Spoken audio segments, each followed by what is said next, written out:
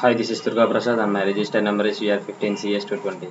Today I am going to explain about my lab experiment on packages in C++ Java that is uh, develop a hostel management system for the hostel manager to maintain the various hostel details. So keep the required classes in various packages and have the test class which uses all these packages appropriately. So I have to declare create two or more packages with different classes and I have to place a test class uh, for all these packages uh, to access all these packages. So let's see this program. So here is the program. First of all, I have created uh, my package, package one, and import java.util.scanner is for the input input scanner functions and scanner header file, and then public class hr. hr is my class name, and these are all the variables that I'm going to use in my uh, program that is budget, month, bulb, electricity, uh, everything.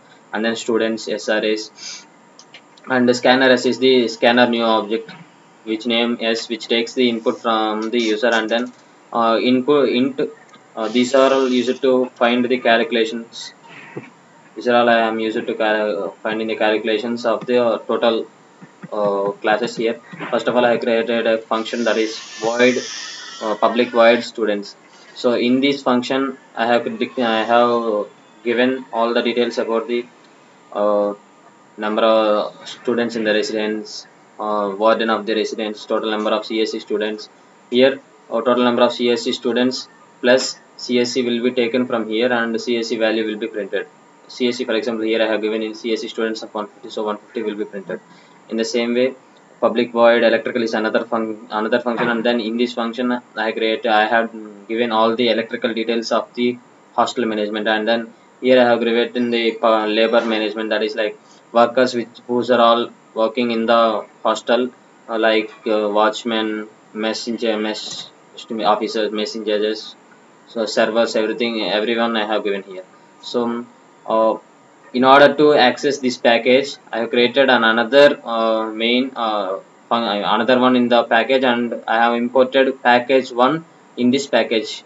So here I have imported a package is my package name is package 2 and I have imported the uh, package 1 here. By import package 1 star uh, so now I have created an another class main class or else test class I have created here and then in this public static void main uh, main function and uh, creating a new object for package 1 and uh, accessing the package 1 from package to here. So ob dot students will access the students function which is in the first package. And in the same way uh, electrical and labor will access the uh, function in first uh, package and we will print the details from that function. So let's run this program and see. So here we can see this total number of students is HR residents everything has been printed. Uh, student details electrical details worker details everything has been printed here. So this is how we can access uh, one package in another package by import package one uh, hashtag uh, package import package name hashtag. So this is uh, thank you